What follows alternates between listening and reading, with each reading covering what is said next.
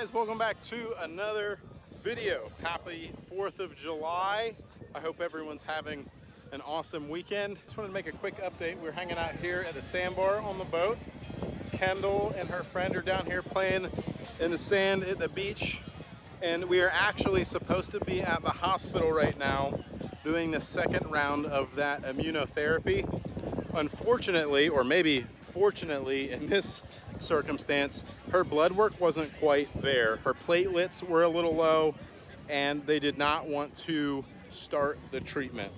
So they sent us home, which in some respects was kind of a bummer. It's like such an emotional roller coaster to be ready and prepared and packed and at the hospital uh, to start these treatments and then to be sent home and it's kind of like, ugh like all this build up, all the preparation, all the mindset to be sent home. But then, you know, we're super positive. We always look at the glass as half full. I said, hey, you know what? That's cool. It's 4th of July weekend.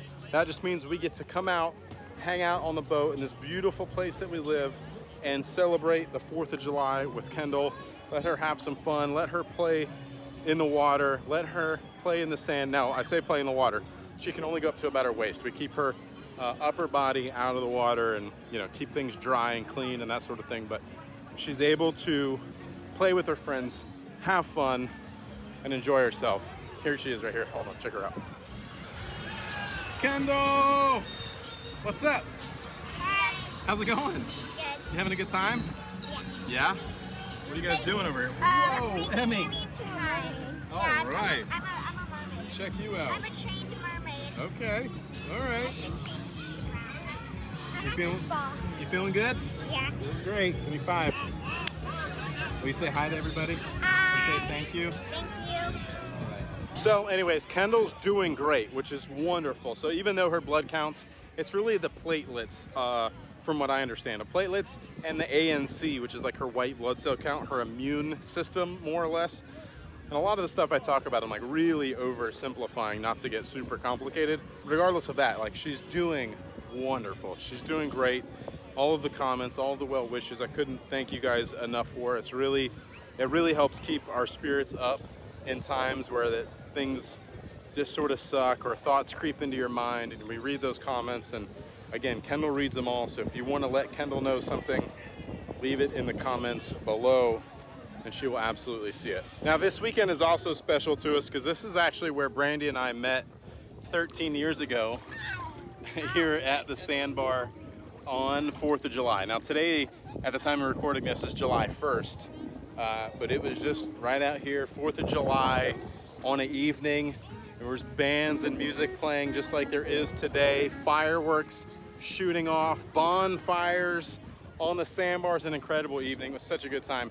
And it'll be just like that probably a little bit later tonight. We won't be here to experience it because we're old now and we'll be going home before too long. But uh, I'm so lucky to have Brandy in my life and I really appreciate everything. Now you guys don't get to see quite enough of Brandy because she hates being on camera. But she's here. She's here with us every step of the way. Every step of the way. Many of you have asked about her and said, where's mom? And things like that. She just hates being on camera. So another another reason this is a, a special weekend for us to be out celebrating and not in the hospital. Otherwise, I just wanted to give this quick update here on my phone. There's Cameron and her friend back there. They're hanging out, having a good time. Just wanted to hop on here and say thank you, give you the update, let you know what's happening since we were supposed to be in the hospital and now we're not. Uh, next video will likely be round two of immunotherapy.